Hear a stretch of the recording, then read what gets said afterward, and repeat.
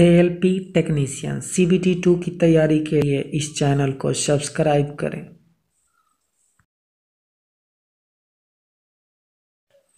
हवा से नमी को अवशोषित करने के बाद सिलिकॉन जेल का रंग क्या होगा? ए नीला बी भूरा सी वायलेट डी गुलाबी। सही जवाब है डी गुलाबी।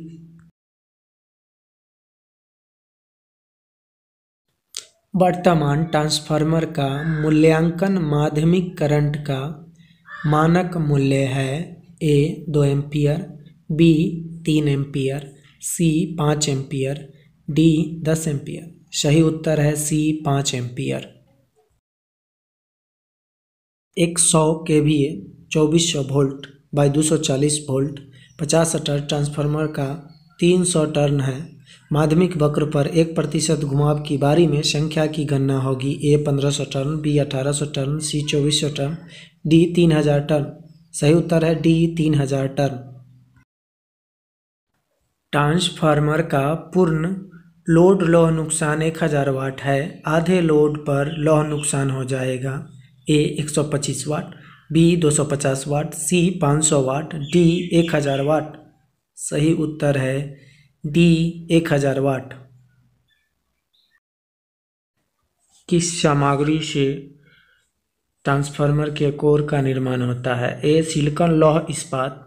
बी, मृदुल स्टील लोहा। सी, कार्बन स्टील लोहा। D, pig iron steel. सही उत्तर है ए, सिलिकॉन लोह इस्पात। एकल चरण ट्रांसफार्मर के इनपुट पक्ष को कहा जाता है।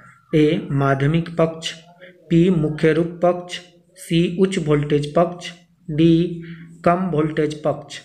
सही उत्तर है बी, मुख्य रूप पक्ष।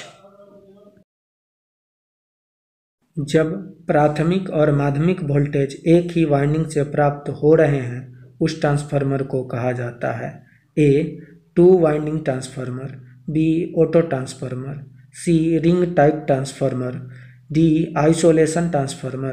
Correct उत्तर है बी, ऑटो ट्रांसफार्मर। ट्रांसफार्मर के ब्रीदर में प्रयोग होने वाला ताज़ा सिल्का जेल किस रंग का होता है? ए, नीला, बी, सफ़ेद, सी, हरा, डी, बैगनी। करेक्ट उत्तर है बी, सफ़ेद। एक विधि जो 100 के वी तक के कम क्षमता वाले वितरण ट्रांसफार्मर को ठंडा करने के लिए आमतौर पर अपनाई जाती है। ए, तेल विस्फोटक शीतलन विधि। बी, हवा विस्फोटक शीतलन विधि। सी, बलपूर्ण परिसंचरण तेल ठंडा विधि। डी, प्रकृति हवा शीतलन विधि। सही उत्तर है डी, प्रकृति हवा शीतलन विधि।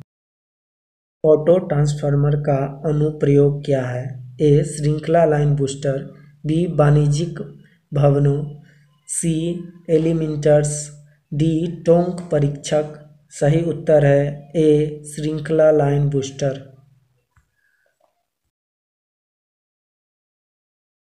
एक के वी दो सौ चालीस वोल्ट बाई एक सौ बीस वोल्ट एकल चरण ट्रांसफार्मर करंट की गणना लो वोल्टेज साइड में कीजिए।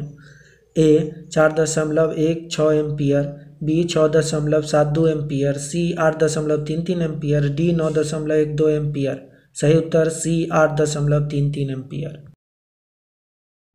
दो बाइंडिंग ट्रांसफार्मर में लोड आउटपुट साइड के रूप में जाना जाता है। ए प्राथमिक पक्ष बी माध्यमिक पक्ष सी कम वोल्टेज की ओर डी उच्च वोल्टेज की ओर।